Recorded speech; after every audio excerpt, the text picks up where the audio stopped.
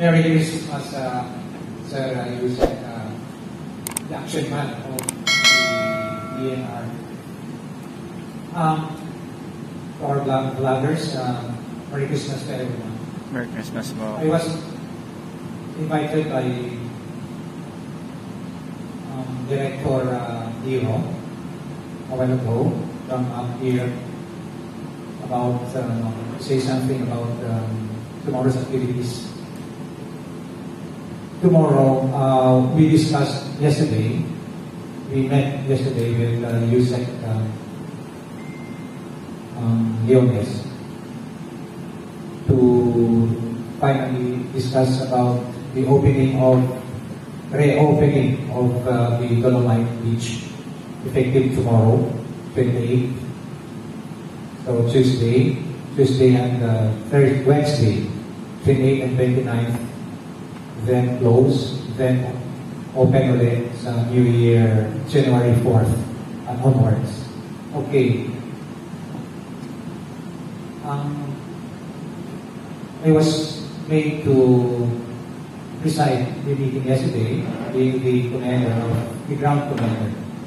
So, napagkasunduan, I hope na kayo this time may carefully na si Ma'am Roda. Ang mangyayari, mamaya, we will have our final no, um, walkthrough. No? So, after lunch. So, we are, we invited to be there. We'll uh, tingnan natin on the ground anong status. Okay? Ano ang kinakang baka may adjustments na gawin. So, what will happen to what will happen sa pag, pag-open effective tomorrow? We will be opening effective 6.30 every hour. Medyo maganda ang system na ginawa. By appointment, by the way, this is my appointment system.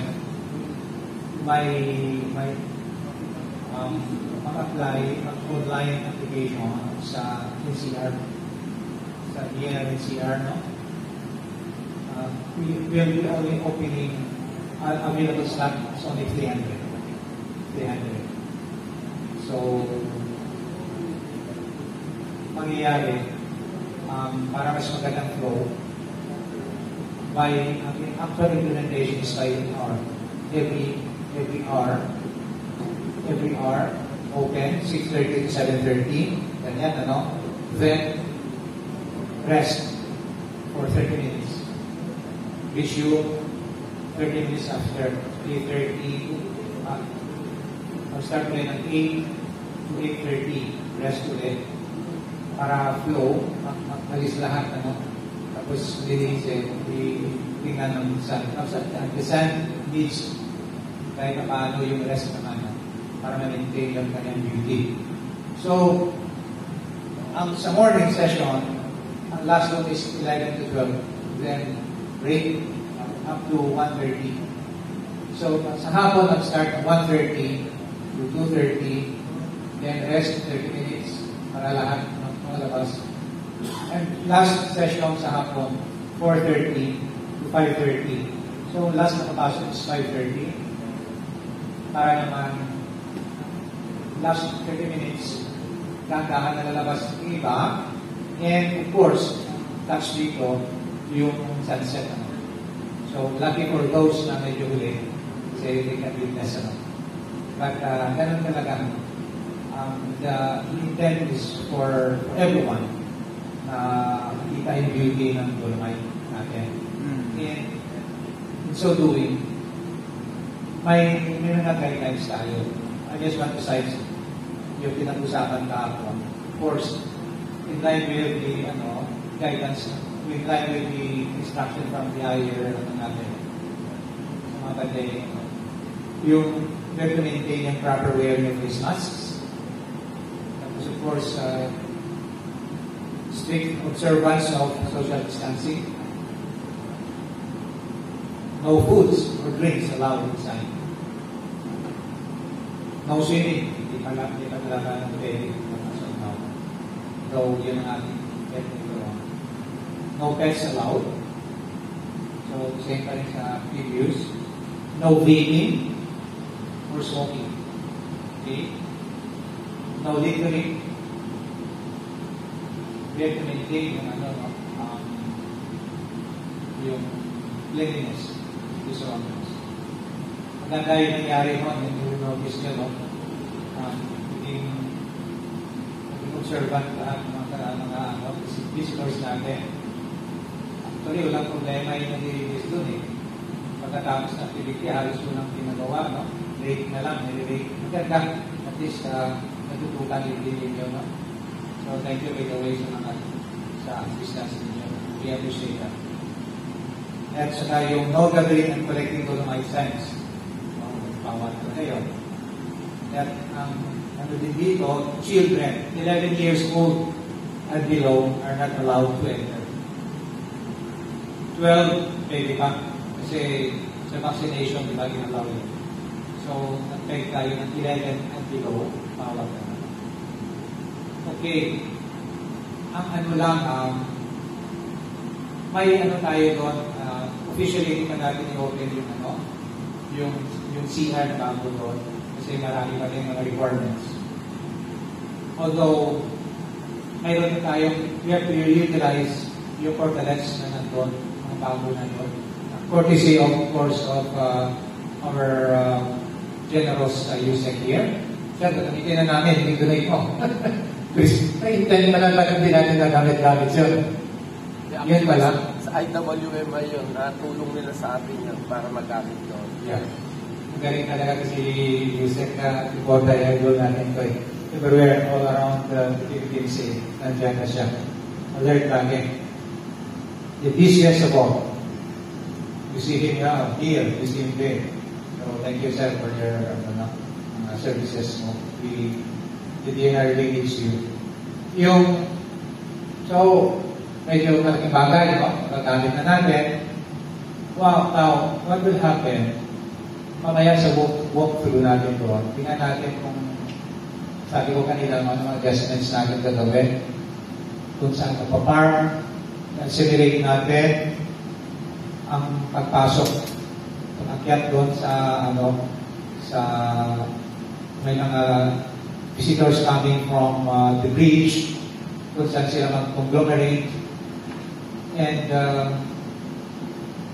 we also accept yung ano, yung walk-in, no? walk-in. Kung hindi na-fill up ang quota sa online, pwede walk-in. Pwede walk-in lang. So, ang ang atin ang just to play safe, baka mamaya mas marami yung ano, yung walk-in. Tapos, limited lang. Tapos, baka magsiksikan. So, mas better siguro, pakikiusap ko lang um, namin, pakikiusap na namin, huwag lang natin announce yung walk-in by appointment na lang, no? Kasi we have to avoid, tulong-tulungan lang tayo, we have to avoid yung ano, yung, um, yung crowd na nagulay dati na sumobra, no? So, nawag pansin na, na dikit-dikit.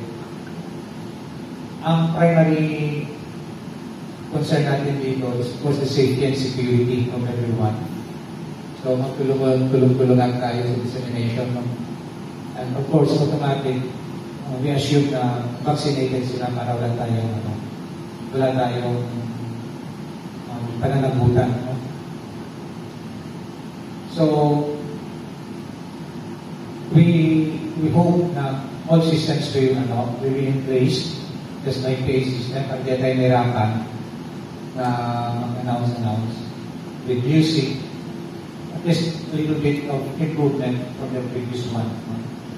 Um, with all the preparations we have.